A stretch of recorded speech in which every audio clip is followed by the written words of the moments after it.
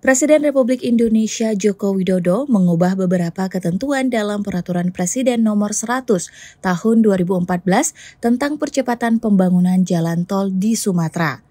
Perubahan tersebut tertuang dalam Peraturan Presiden Nomor 42 Tahun 2024 tentang perubahan ketiga atas Peraturan Presiden Nomor 100 Tahun 2014 tentang percepatan pembangunan jalan tol di Sumatera yang ditandatangani pada Senin 25 Maret 2024 lalu. Presiden Jokowi menugaskan PT Hutama Karya untuk melakukan pengusahaan terhadap 24 ruas jalan tol Trans Sumatera.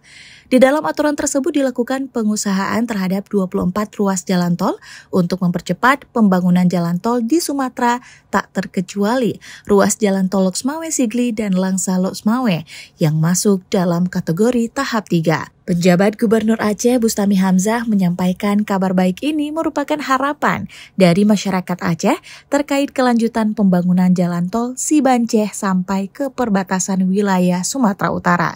Ia mengatakan, pemerintah dan rakyat Aceh tentu sangat berterima kasih dengan kebijakan Presiden atas terbitnya Perpres 100 ini.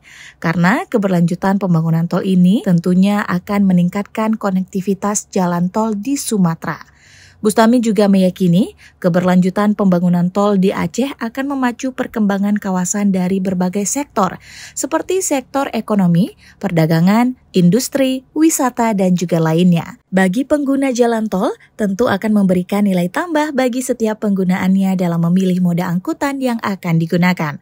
Untuk diketahui bersama, saat ini pembangunan Jalan Tol Sibanceh menyisakan satu seksi, yaitu Padang Tiji Selimum, yang proses pembangunannya masih terus dipacu dan ditargetkan beroperasi sebelum pelaksanaan PON ke-21 tahun 2024 berlangsung. PJ Gubernur Bustami mengatakan dengan adanya pengusahaan tahap 3 ruas jalan tol Luxmawe Sikli dan Langsa Luxmawe yang bagian dari jaringan jalan tol Trans Sumatera akan memberikan harapan harapan bagi Aceh dalam meningkatkan stimulus bagi pertumbuhan ekonomi.